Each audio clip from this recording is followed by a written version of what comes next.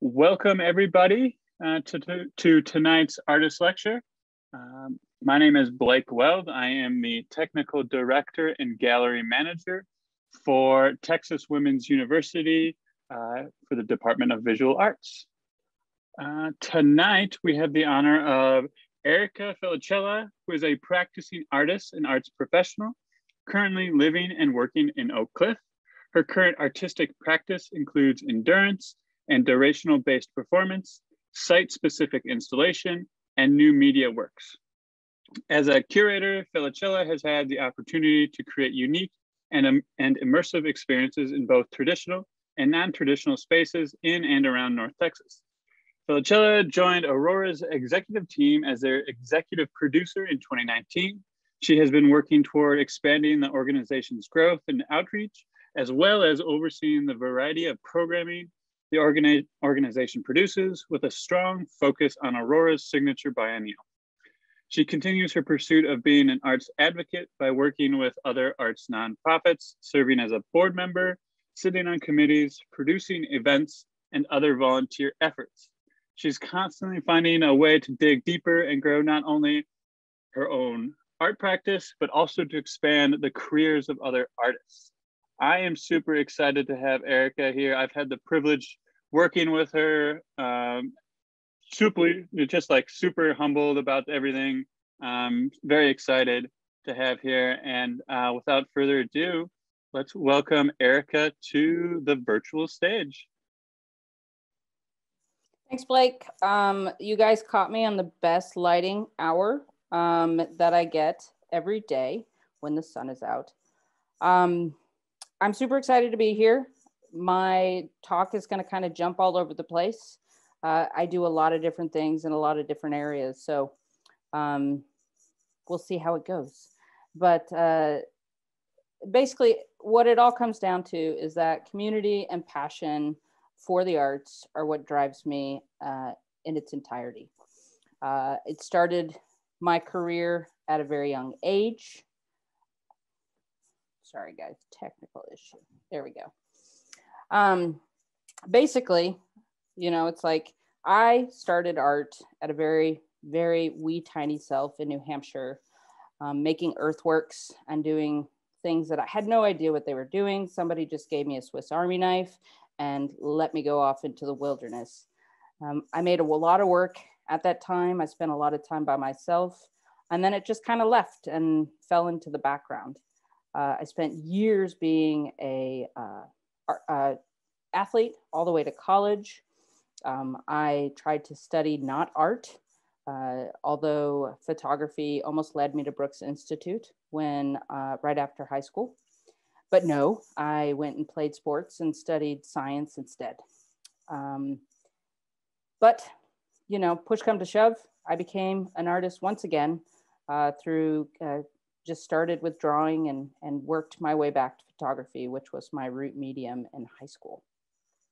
So basically, you know, uh, what do I do is always a difficult question for me to answer. Also, how did I get to where I am?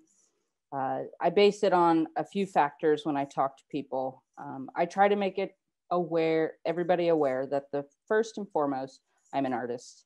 Um, photography was my first medium.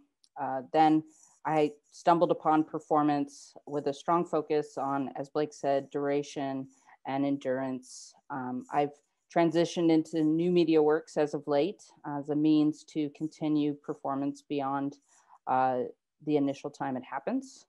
And I'm always curious. So through research and development, whatever kind of work I need to learn along the way, uh, I do. Uh, I became a curator kind of by accident. Um, somebody asked me when I was real young, hey, do you want to curate this show with me? Uh, one of my philosophies is say yes. So I said yes.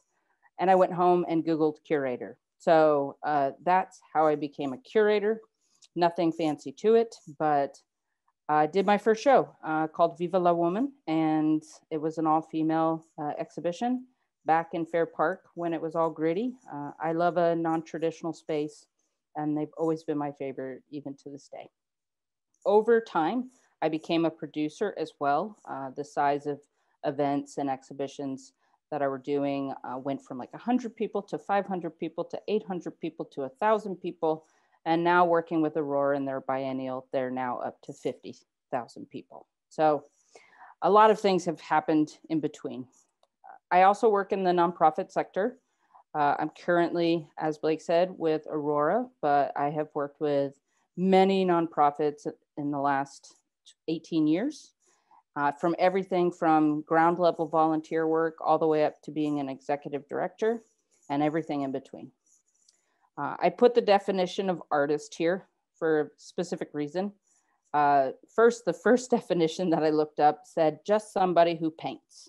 And I was like, oh, they need a new definition. And so I found a little bit better one. And basically, it took me a very long time to find comfort in that word. Uh, so now I say it still with trepidation, but you know, it's a never ending, you know, growth process. And, uh, you know, creative imagination is basically how I live. Um, you know, this is real simple. Uh, I'm incredibly shy. I'm a huge introvert. Uh, talking is something I do often, but definitely not something that uh, doesn't scare me every day. Um, but over the years, I started developing a process and uh, through watching and learning other artists and slowly but surely it opened my doors to everything and every um, body of work I've ever produced. I was an incredibly shy kid, but art was always like an outlet for me. I could perform poetry and then I'd be quiet afterwards. I could be on stage and be incredibly loud. Um, but uh, yeah, I always loved to be, you know, behind the curtain, which is why photography was such a preferred medium for me for a very long time. And there's just, um, I always had a desire to have my voice and my story be told. Um, we'll talk a little bit down the line, but one of my biggest things that I try to address in my work is mental health um, and the community around it and the stigmas that still exist. So we'll get down to that a little later. But, you know, aesthetical bouncing is kind of the best way to describe my career for a very long time. You know, it's like who I was in my early 20s, uh, got lost many times. I learned from some great masters of photography, uh, mostly in the commercial industry for a long time. And I learned lighting techniques, and then I realized they were weaving their way into my work, and then I'd push them out. Uh, and so, you know, I my work looked a lot like others uh, over time, and then I'd have to try again. So over time went from flat to round basically i'm describing that as you know it, it, was very dimensional and flat at the time and over time i learned how to grow into a more expanded approach to art uh, to layer it to to have a deeper conversation um, and basically just to get to a place where you know when you stood in front of the work it made you think more. It doesn't, it wasn't just about being pretty. It wasn't just about the lighting being well done. Um, I basically grew out of technique and into dialogue. So it was a lot of a lot of mishaps, but I found it. I, I like to call me a yo-yo for a long time. Also, um, that's a very young me in this picture. Uh, even though I like to be, you know, behind the camera, the way I describe it is that, you know, it was really hard to pay for a model when you're really young. So uh, I just, I used myself a lot. Uh, this was back in the film days as well. Yes, I loved my, my film and I miss it dearly. But, um, you know, this is, this is the early stages of me working with compositing as well. Um, don't look too close. There's plenty of mistakes in that image. So when it comes down to like, what do I focus on in my art practice? You know, I, I was thinking about this and then I realized I made this list that was incredibly long. Um, but, but it is incredibly long. And the first and foremost, the thing that I try to bring awareness to is mental health. It is not necessarily specific illness, but it's just something that in humanity uh, we all relate to. I find it an incredibly relevant topic since the pandemic hit. Uh, a lot of people are experiencing anxiety and depression for the first time. So uh, it's it's definitely you know I'm able to talk a little bit more about the work that I've done in the past and the stuff I'm working towards in the future. Um, community engagement it's in everything that I do, every job that I do, every work I develop. Um, the, this group up here in the top um, was just a, a group that trusted me. I showed them kind of a empty space that had almost no electricity, terrible lighting, and uh, they went with me anyway. Um, and we put off a, a, really great, you know, exhibition inside a, uh, a warehouse on a really hot day. And I love being able to be a champion for other artists, uh, especially when they're uh, intimidated or scared of a space. So it, it goes beyond curating for me. It, it's like cheerleading for me in a lot of ways. I think um, I know for me, like I've gone through a lot of experiences over the years that I sure would have loved a cheerleader. So I try to bring the pom poms to every every exhibition that I I oversee social response. Um, I just, I believe in my practice that, uh, you know, it's my responsibility as an artist to focus on today's environment. Um, my, my chosen discussion sometimes is political, sometimes is about, you know, health, but, you know, it's, I, I take, I take deep, deep responsibility in the voice that I use. Connected journey this again is just about you know through other artists and through other communities you know i get my voice out of my head and let um, other artists like fix problems for me. We work together um, and, and i try to remove my ego as much as possible in everything that i do elevating artists kind of already talked about this but it's just another example of what i do mentorship I always have at least one or more artists under my wing that can call me anytime with any questions. I can't imagine having a career without it. Uh, the one thing that most people know about me, I always take the meeting. Always. If you say coffee somewhere, I've never met you, I will meet you. It's changed my practice entirely. It has opened doors. It has led me to a lot of the stuff I'm working on today, everything from my own um, performances to working on policy or working on, with the city to change a structure for a permit that we don't have yet. And when I uh, had a studio mate back in the early 2000s, this last line is I stole from her. And she told me to always say yes and panic later. Um, that has been my whole career. Uh, and uh, thank, thank, thankfully, Google exists and it reduces some of the panic stress. But I always say yes to not always, not always correct, but I do it anyway. Um, these are just some examples of the photography that I've done over the years, everything from film to, uh, you know, I, I, use toy cameras. There's some Diana work in here there's some early stages of, you know, digital manipulation uh, before, I, you know, I, I, was learning a lot over the way uh, through the years. And uh, several of these images are composites. Uh, the one up uh, with the fake deer. It's just, I'm, I'm all about detail. It's, it's a part of everything that I do. Uh, those deers are life size. I did a lot of research on what is the size of an average deer. And then I decided to make cardboard, you know, three dimensional objects, which you can't ever get that dust out of your house. So I highly recommend doing it in a studio. Um, a lot of this stuff, uh, you know, it's like that image, I'm in there three times. Um, this was compositing was something I really loved and I worked with it a lot. But I also really like to do the unexpected, the boardroom with the dog collars. Um, that's actually my father at the head of the table. It's called corporate static, and it's it's my response to you know corporations not really listening to what's going on in the world. The trick is I didn't tell any of them I was going to stick dog collars on them. I just invited them to this photo shoot with no information, and I like to get as close to an authentic response as possible. Luckily, they had fun, um, and I was nervous for two days, but uh, it's turned out, you know, it's like they kind of understood the concept. And these are all CEOs. That's another part of my work. Like I don't bring in just, you know, actors off the street. These are exactly who they're supposed to be. The couple with the with the the heart balloons, they are married. You know, certain things like that. Like that's that's important to me. The musician down in the lower left, I brought her to Caddo Lake because her music is the perfect blend, uh, blend of Texas Americana and Louisiana folk. You know, it's like it's the little details that that matter to me. And that's a very little me with a camera.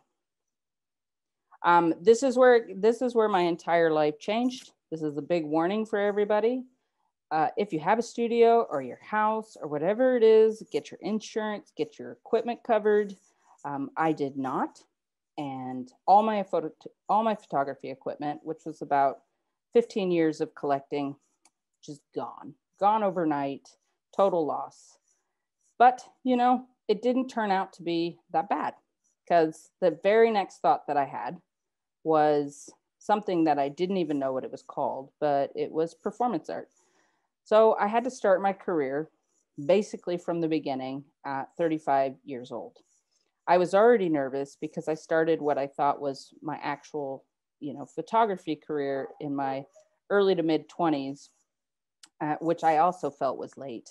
So 35, I felt like this, you know, veteran coming in trying to trying to figure out the art world again. But what I realized is that this medium just totally set me free. Uh, I didn't know what it was. I didn't know what to call it, but the idea I had I knew it just it, it would take me to new places and new you know new connections with the community. I was finally able to just get off the wall and get into the world, um, and and in a sense, I now was the camera. Um, I was no longer behind it. Uh, I was no longer in front of it. I was it myself, and uh, it was also you know it was the end of my camera uh, that had been, you know, part of my life since I was, you know, basically a little girl, but more seriously since I was 15. And then, you know, giving this talk made me count how many performances I've done since 2012. I put the number in there just because I was shocked. Um, I have now uh, successfully successfully performed 21 performances uh, since I was 35, and uh, I'm still going. Hopefully, for the next 20 years. I have enough material in notebooks in my brain uh, and just hiding in every little nook and cranny that I can possibly put them. Oh, this piece, just so you guys know, this was my very first performance. It was called Visible Shell. Uh, it was a 48 hour work and I was contained in an acrylic structure that was about three feet by four feet by six and a half feet completely locked in and um, just there. Uh, to, to show the passing of time, I changed the color of the paper from bottom to top. And I didn't, I didn't, it almost made it to the end. I had about five hours left. And the only reason I could count the time is because uh, I had to get up every hour to avoid blood clots. And so I tried to keep track of them the best I could. There's just some examples of performances over the years. Uh, up in the top left, there's one, this one's called Get Up. It's just an example of, you know, just how do you reemerge in life from being stuck? How do you, how do you deal with the emotions of, of like expanding oneself again and learning how to be whole. I learned a lot in this project. Um, I actually inhaled a lot of uh, Super 77. If you guys know what that is, it's, yeah, I see somebody's face. It's a really nasty 3M spray adhesive, but it worked because we had to keep the, the chalk that was poured on me not on the ground. So uh, it was a fun performance. I had to put a lot of trust in people. They had to deadlift me um, off the ground so that we didn't mess up the the imprints that were left. And uh, yeah, it took just a couple hours. It's a short performance for me. Down in the bottom, uh, it's called Resist the Pull. This was just a play on human uh, tension. uh, and, and relaxing. I learned through this piece that tug of war is actually still a professional sport uh, in Europe. Uh, so resist the pull is actually is the moment at which the tension is on the line. So I found that to be something very relevant and important.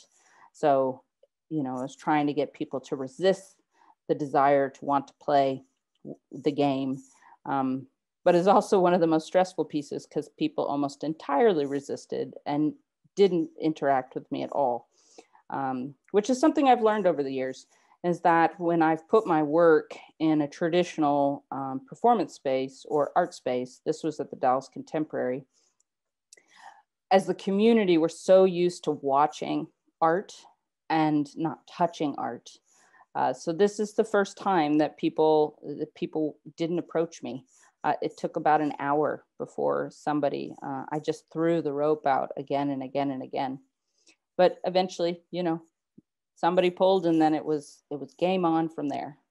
In the middle uh, this was my response to turning 40 uh, i decided that i needed to tell my life story stay up for 40 hours and type it on two different typewriters. Uh, i still haven't read it. I don't know why. I'm not quite ready.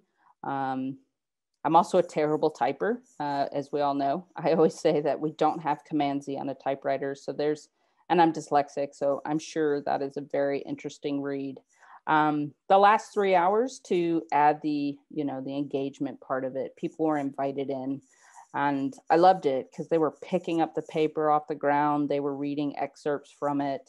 Uh, they were, you know, I love how audience interacts with work.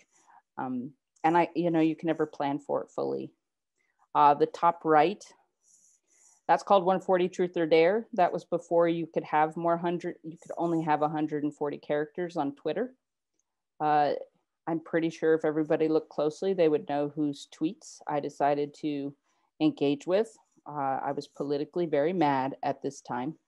And uh, I collected over a year's worth of Donald Trump's tweets and decided to encase an entire gallery, uh, floors, walls, and, and, and whatnot. Um, it was it was mentally a very exhausting process.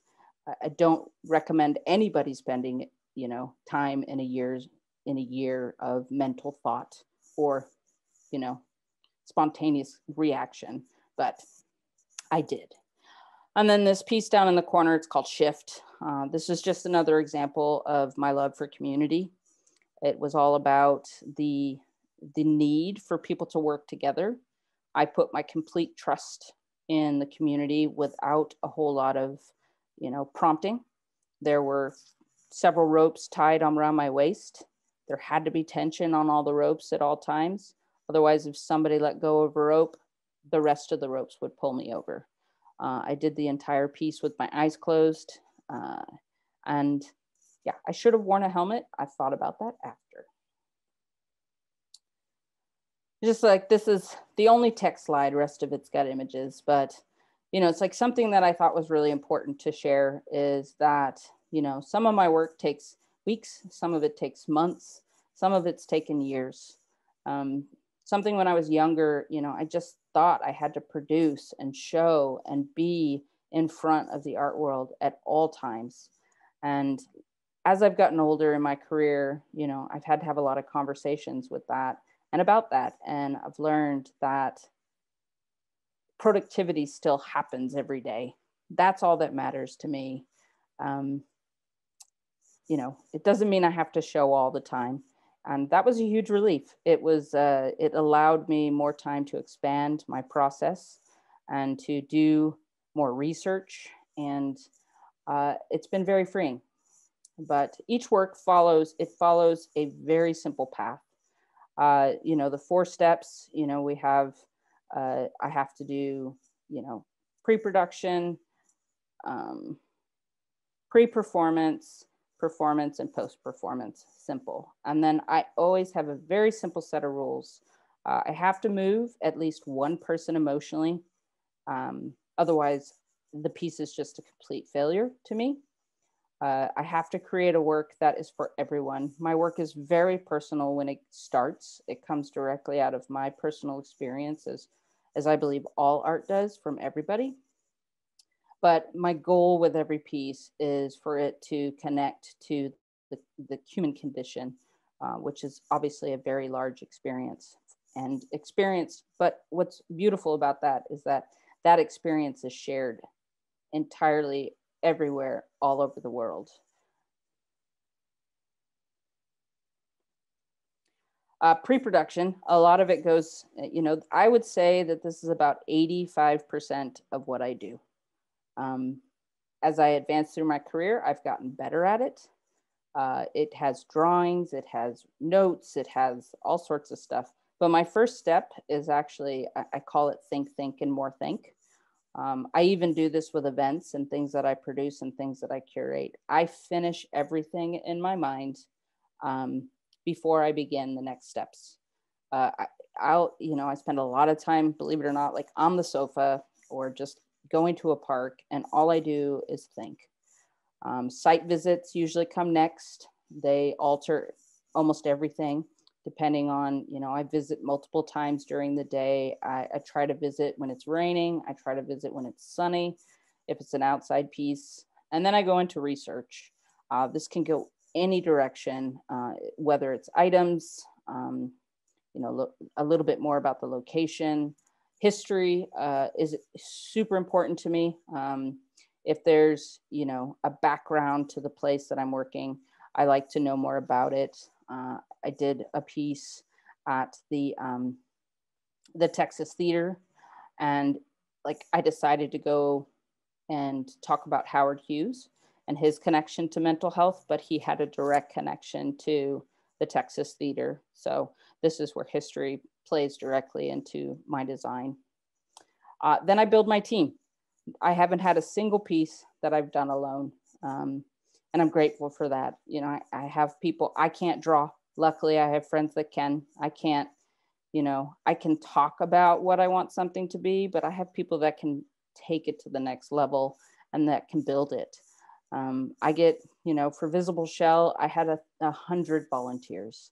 I had additional performers. I had safety people. I had nurses. I had doctors. I had police. I had, you know, tech team that because I live streamed it you know this is, all comes back to the think think think and then safety um, a lot of my work can be uh, a little bit dangerous and i don't ever want to get hurt so and then the, one of the number one rules is no full testing of a single performance ever i put this one image of uh, what looks like me long jumping um, that was supposed to be fully upright uh, that was the second test of uh, sculpture, live sculpture, where I was about to do the very next day.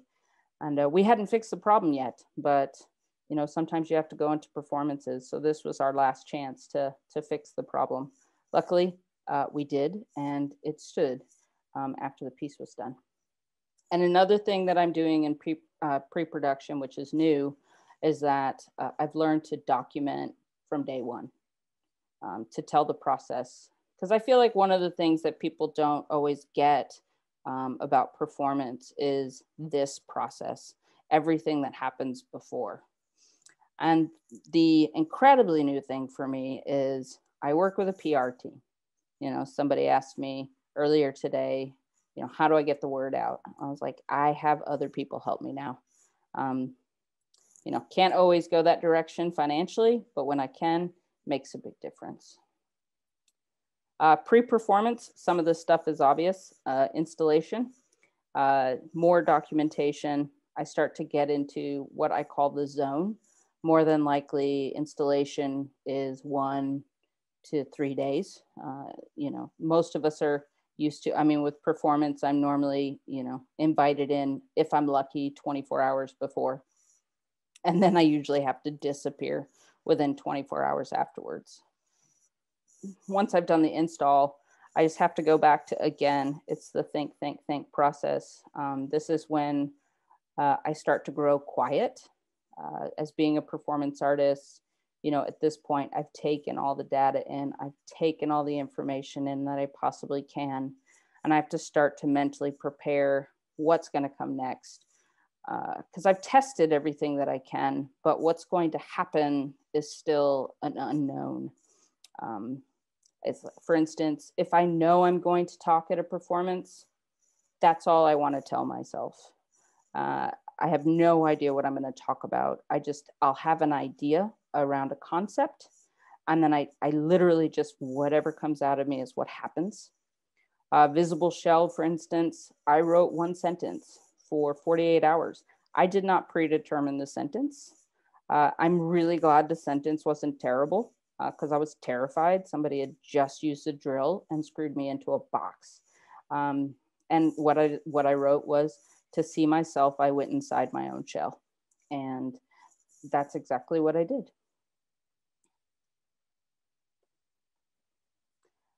This is um, I'll talk a little bit about this one. Uh, this piece uh, was I completed this in 2020. Uh, there's a lot of examples in this piece that I did right.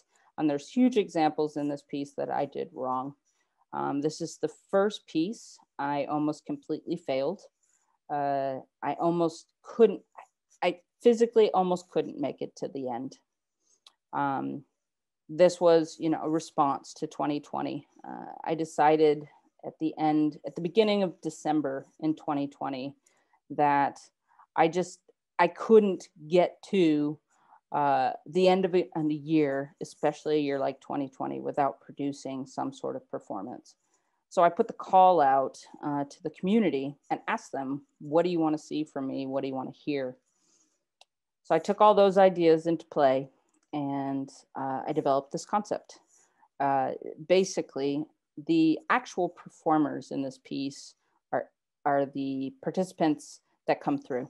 Um, I'm simply part of a vessel that people get to leave uh, their emotions with so that hopefully they can get to you know the other side uh, this is this is a piece i did not not only did i not test it i didn't physically train for it either and this is where the problem came in uh, you know I, I think within an hour into this piece i was in searing pain this piece went from actual sunup to sundown. So I think that was 7:29 a.m. to 5:30 p.m. So it's you know about 10 hours. And every you know the the way the piece worked is you know you entered. You can see the overhead view. Um, Christian Vasquez was there. Super grateful. He got his drone out there. Got this great capture. Um, but you entered the piece from the from the bottom and you had to write a statement or something you know a feeling that you wanted to leave behind in 2020 and then metaphorically you were transferring that emotion to a stone and i was the receiver of that emotion. So everybody was super kind. They were supposed to pile everything on top of me but the the statement you know what they were told is it at least had to touch me. So very few people you know put stones on me. But the one thing i did test i know that the human body can withstand uh, 40 pounds per square inch at any given moment uh, and it might be higher than that i've slept since then but that's the kind of stuff i have to figure out in advance like am i going to get crushed will i have a rib cage at the end of this piece um, that was not the difficult part. So once they received, you know, released that emotion, they traveled through to a writing process and they wrote aspirations, letters, whatever they wanted. And when they were done, they exited. The whole concept of this piece uh, relates to a lot of my work. Um, I want people to be uh, in a reflective place. I want them to be fully engaged. I want the work to be about them and not about me. Um, you know, it's like I, I I ask people, I ask a lot of people in my work. I ask them to to dig into their own you know vulnerability and and trust me with it.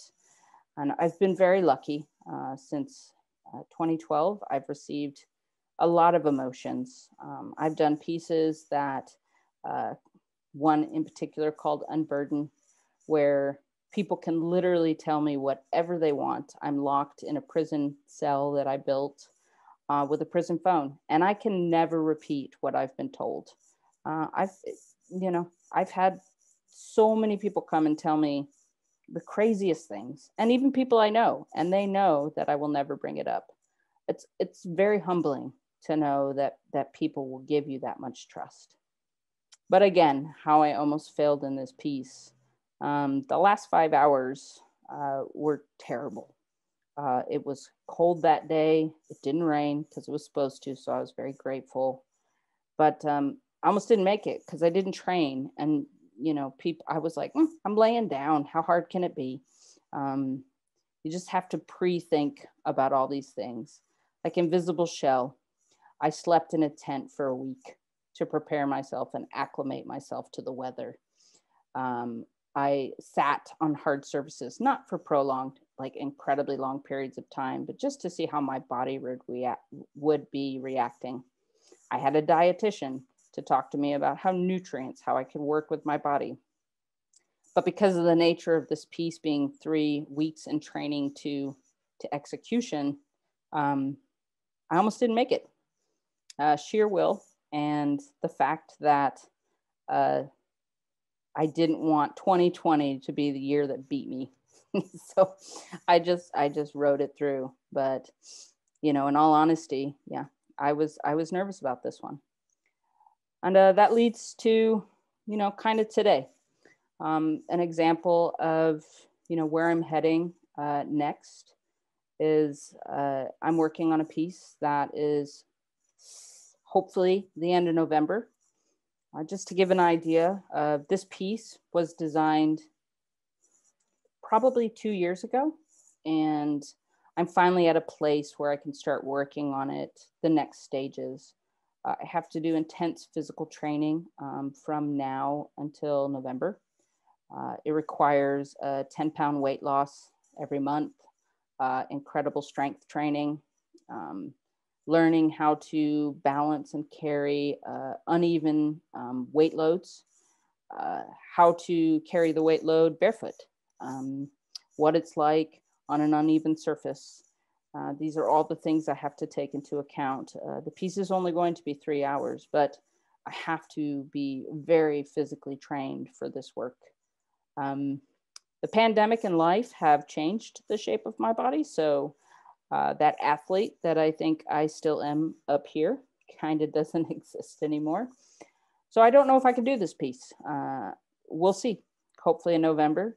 Uh, I've also started for the first time. I am uh, chronicling this piece every Friday. Uh, I give updates of where I'm at, uh, what my failures are, what my what my wins are, my successes, and I do all that's the same time while I'm working. Um, I don't know, uh, something that baffles uh, a lot of people in my family is, you know, one of the first things they asked is, well, who buys performance art? and it always makes me laugh because, you know, I don't do this uh, for any of that. I do this to share um, an open, vulnerable state with the world. Uh, I hope that I get to continue to do this for as long as my body will let me. Uh, like I said back at the beginning, when I went from photography to uh, performance, uh, was another one of those things. I came up with the concept, I came up with the idea, and I did it. And somebody came up to me later and said, Oh, you're an endurance performance artist. And I said, Sure. And I uh, went home and I Googled, and um, I did a, a image search, and uh, I was right next to the grandmother of all performance art, uh, Marina, and so humbling, so crazy, and you know it's been it's been a hoot ever since, and painful and tears. And I have tons of notes, tons of letters that people have left me. I also have a storage unit filled of the most bizarre things if in, you know something that i think about is will i exhibit this further in the future so i do have a you know bag of six dodgeballs i do have a pile of stones. I do have journals and all kinds of stuff. That wetsuit that I'm wearing, you know, it's like I keep I keep as much as I can um, if it's not too big. Uh, I never wanted to see Visible Shell again, so we destroyed it. I'm very grateful for that. Let it go to other artists. But yeah, my career has been has grown through just curiosity. I guess is the best way to describe it. Uh, I learned through very unexpected spaces and places and from people. Uh, like uh, I'm moving into a lot of, you know, earth-based uh, performance. And so, you know, Andy Goldsworthy was always somebody I was super fascinated by. And, you know, obviously Spiral Jetty and, you know, very, very obvious examples that connect to the visual aspects of my work. But you know, I don't I, don't look into a lot of the history of performance. I've been looking into it lately, but in a strange way, photography was my trainer, and it's been um, it's been the tool. You know, I learned how to produce because of photography. I know how to create a performance work because of photography. Um, I'm a stylist. I am the creative director. I am everything that was on a set. It's just in real life now. And um, and then I have to figure out how to clean up after the fact, which that piece was a bit of a bear on the screen. But um, yeah, so at the end, you know, it's just the thing that I can say about anything or everything. My career got to where it is today because I just say yes plain and simple. Um, I don't have a magic formula. I don't have, you know, the, there's no big reveal. Uh, and I dream big. You know, several artist friends of mine over the years have said, well, if your ideas were just smaller, you'd probably be able to work a lot more. And uh, I, you know, the answer is I just go along for the ride. My brain is what guides the course. And uh, the ideas don't come from my physical self, they come from my mind. So that's it, guys. My email's down at the corner, my email address. Uh, just like I said, I just say yes. If anybody ever wants to talk about anything, coffee, again, you know how to get a hold of me. Hopefully, I didn't speak too fast. Looks like we're okay. No, that was wonderful. Thank you. Do we have any questions? Uh, feel free to use the chat too. I'm more than happy to read them or Erica can read them. I'm going to stop sharing so we're not staring at my eyeball. There we go. Okay, much better. Hi, Erica. Um, thank you so much for being here for our students. I, I have a question. So much of your work is about community collaboration. I'm really fascinated by the emotional part of, you know, being really the conduit or the receptacle or the the place where people put especially in 2020 I, I think about that piece that you made and or um, the one you were talking about how you're in a um, a jail cell and people can say whatever they want and so i wonder like the you know we heard about the the emotional or physical training that you do in order to prepare for these performances but i think about the aftermath you mm-hmm. know i mean eh, i can you know we're so sensitive and i mean you're an artist i'm sure you're like incredibly sensitive to all kinds of stimuli and i mean hearing all of this information i mean i, I wonder what kind of aftermath, I feel like, oh my gosh, there must be some kind of like PTSD or, you know, I mean, that you go through after having these these very intense experiences with people in um, a finite period of time. So I'm just really is there like an exercise you do to like sage yourself? Or you know, like how does it work? Well for the piece i just recently did it's the first time i actually had a ceremony done uh, a cleansing before i went in mm-hmm. and then an additional cleansing when i exited. Um, that was a saging. It was p- petals. It's a friend that this is what she does. And then I just walked off, you know, I just left and I wasn't available for conversations. Um, but I did come back. I gave myself about 15 minutes, mostly for a bathroom break, but um, still, you know, every piece is a little different. I did a piece called Behind the Closed Door, um, where I was a woman that hadn't left her house in over a month. Um, I had three sets of stage um, dress uh, set designers come in and destroy my home entirely, uh, which is scary to me in general. And people were allowed to, you know, filter through my space for an entire day and and just live with that woman. And then they were asked to read notes afterwards. And I don't know how I'm going to feel after each piece. Uh, that piece, um, I just wanted a Topo Chico and to read the letters. You know, it sounds silly. Sometimes it's a huge relief. Um, unburden is the the prison cell. I'm just humbled more than anything. Um, I have an enormous ability that I've learned over the years to take in emotional response. Uh, it's it started from training when I was a kid, which may sound silly, but I was I, I was brought in as a peer counselor in elementary school, and I was trained on how to uh, you know not react to human response and to digest it and for it's not like totally engulf who you are as a person.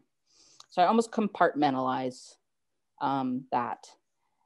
But uh, you know thus far it hasn't affected me too much emotionally. But uh, you know sleep. Sleep is the biggest thing. I'm usually just tired. So and, and humbled. I really am just just humbled it's so great. Thank you.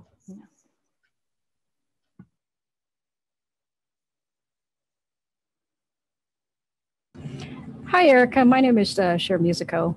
Um, I don't really have a question, but I just wanted to say um, I became aware of your work probably, I don't know if it's about 15 years ago or so through um, Hal Samples when he had space wow. down there.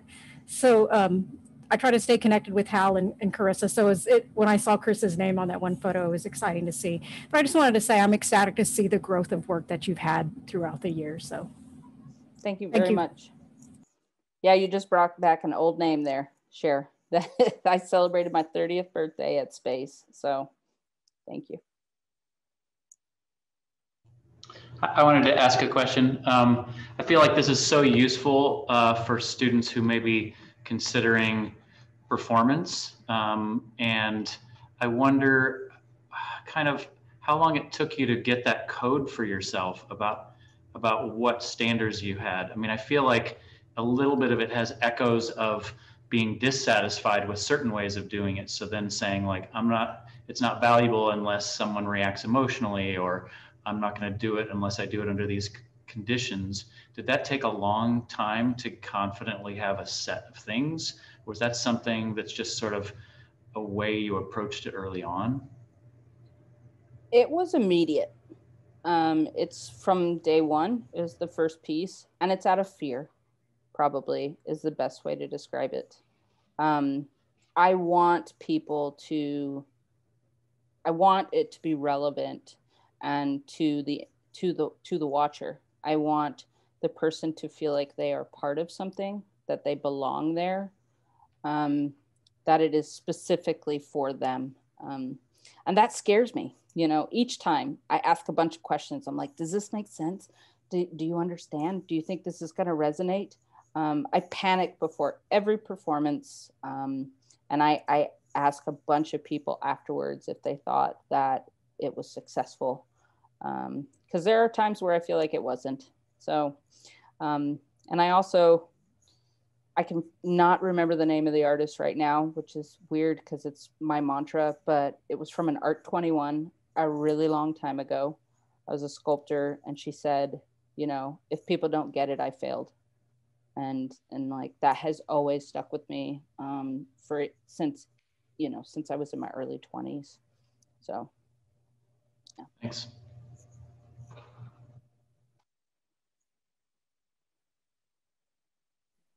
Hi, Erica. Hi, Julie. um, I just want to like preach that I, I think you're one of the hardest working people I've ever uh, encountered, worked with, collab, had the great fortune to collaborate with. And so there is that theme throughout a lot of your performances about effort.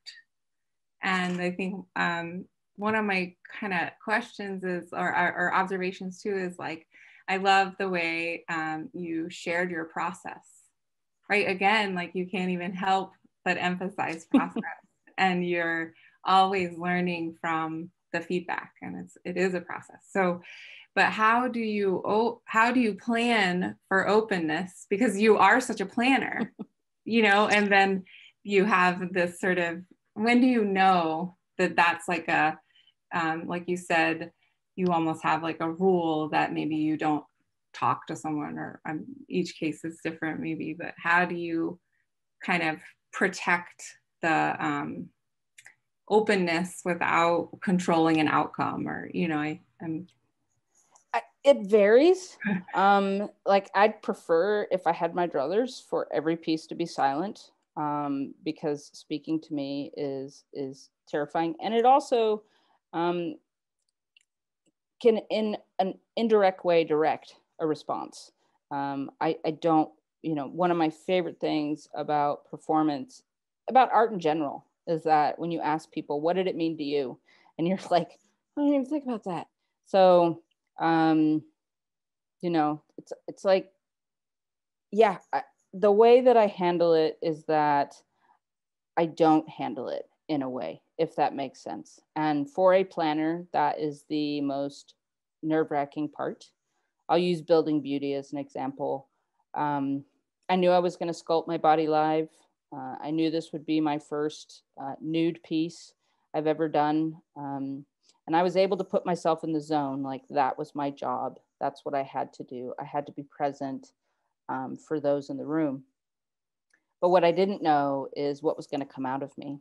I thought I did. I had six sentences that were prompts behind me. And instead, I told the story of my life and my, you know, disconnect and, and just issues with, you know, positive body image. And, you know, it's like, I, I'm kind of rambling, Julie, sorry, but like, as a planner, I deliberately leave a space in there that is for an unpredictable response, which goes against everything I do. For anybody that knows me, Julie's right. I plan everything down to like, you know, what's the what's the thread I'm going to use in a sock before I make the sock. Like it's it's it's a problem.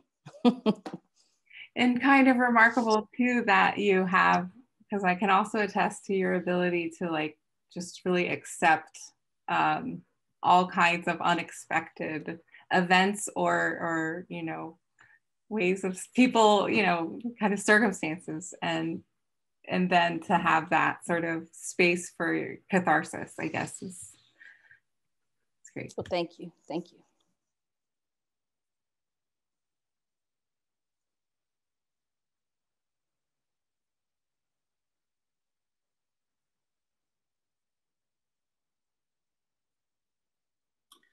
Hi, Erica. Um, my name is Kenneth.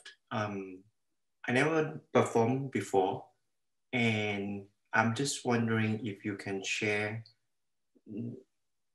how you know it's time to perform. I mean, how, how you, you, you become perform at transition at one point. Uh, yeah. And I, I really appreciate your, your work. It really moved me want to become a performer. Thank you. Well, yay, come join us. Um, thank you for the question. Uh, it was a natural transition. Uh, the way I call it is, you know, I just jumped what I was already doing off the wall. Um, I was a conceptual photographer. It was rooted in process and ideas. Um, to me, my photography was just a moment captured in a moving piece a moving story, a moving image. Um, so the very next idea that I had, you know, it's like it just naturally, you know, I was experiencing um, loss, uh, you know, equipment. It was it was very emotional for me to to basically lose my career, um, as I'd known it. And just, I was sitting there one day and I just turned to a friend and I said, I have to lock myself in a box. And that was it. I mean, I don't have any magic reason for it. Um, it's just where my brain went. I knew, honestly, I knew nothing of performance art. I just, I could see it, I could visualize it. And um, I built a great team around me and, and I went for it. So um, I guess the choice, the way I describe it to my life in general, is that whenever I'm supposed to change course or direction, uh, my whole life, uh, something tragic has happened. Um, I'm so stubborn that I need to have the most obvious thing put in front of me. So I think my equipment being stolen was a catalyst.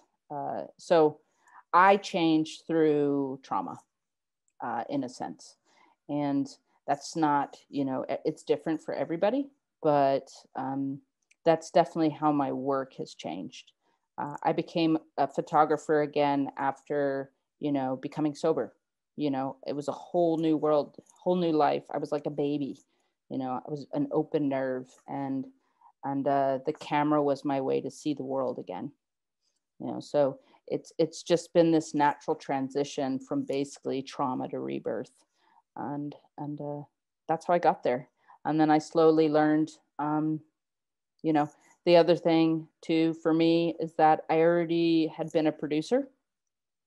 So that part already made sense to me. So that was definitely part of it. Thank you.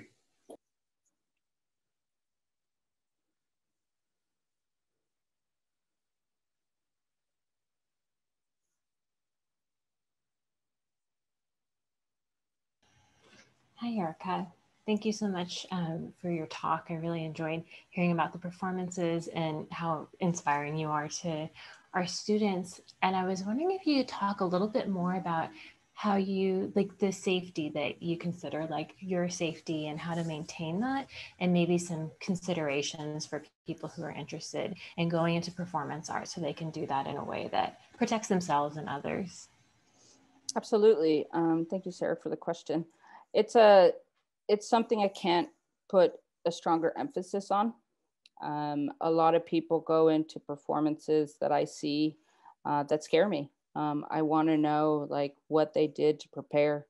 Um, you know, it's like visible shells, an example. Um, I did everything from mind, body, and soul prep for that one.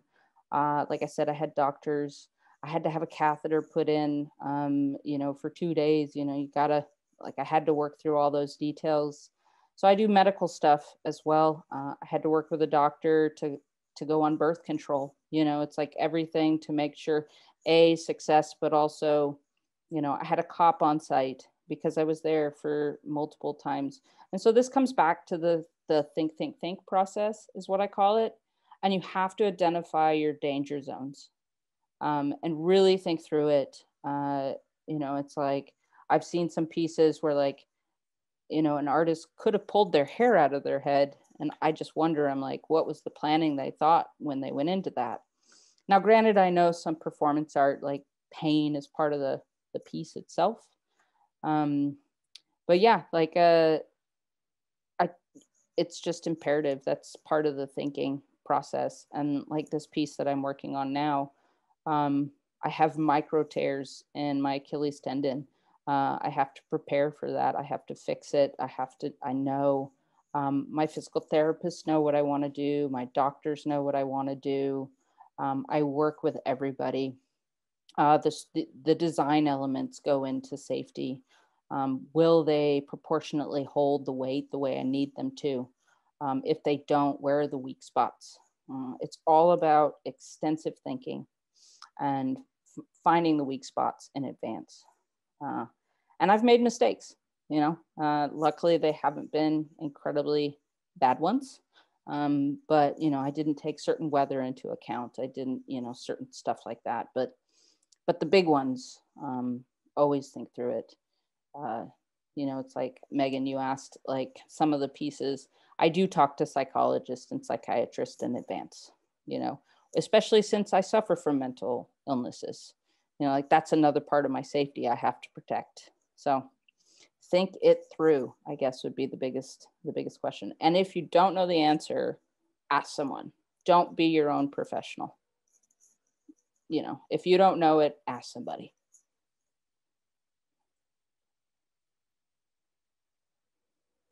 Thank you. Mm-hmm.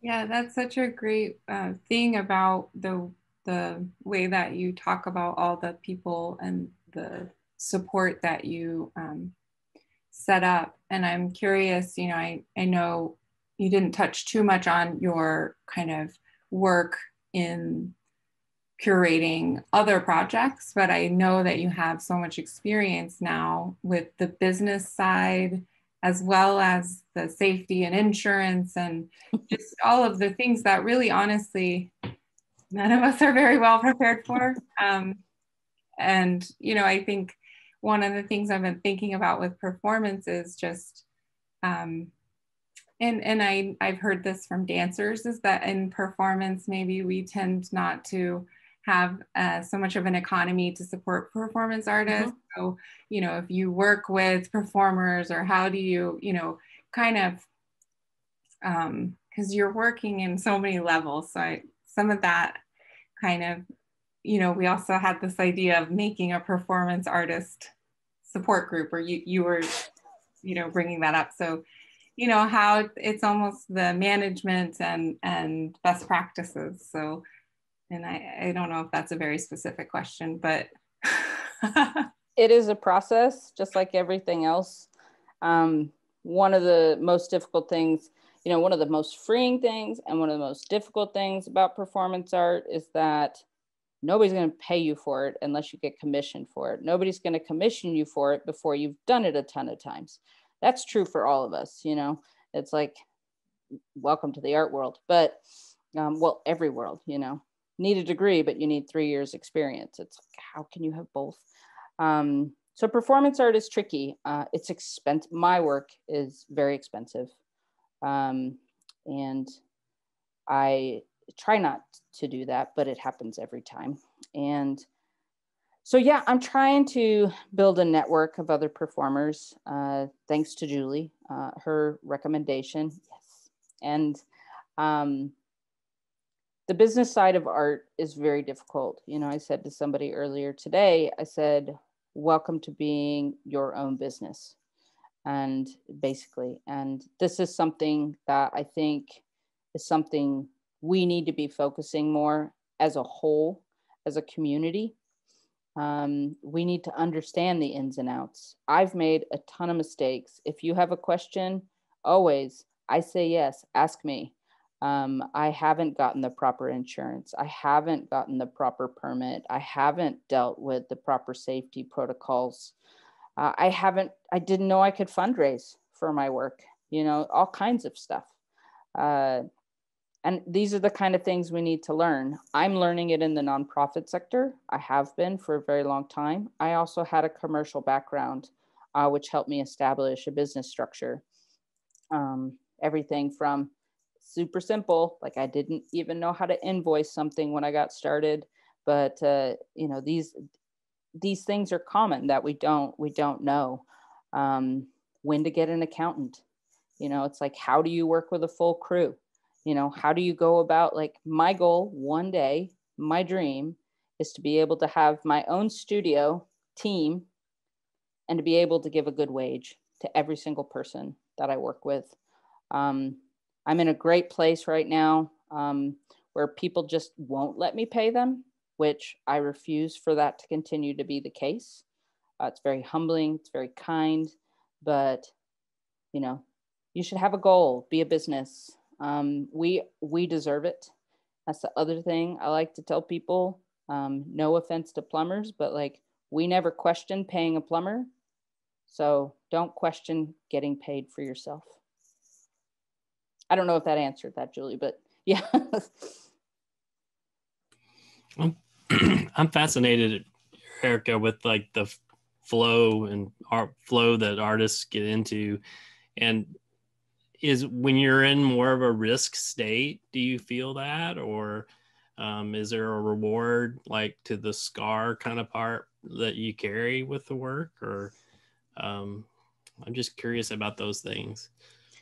Sometimes um, you know it, i got something out of visible shell that um, it only lasted maybe two seconds but it's the best reward i've ever been given in life. And it was for two seconds of my entire existence i didn't care about anything. I felt this total bliss and it took a lot of pain to get there you know? I sat in a hard chair for who knows how long. It was probably 15 or so hours in.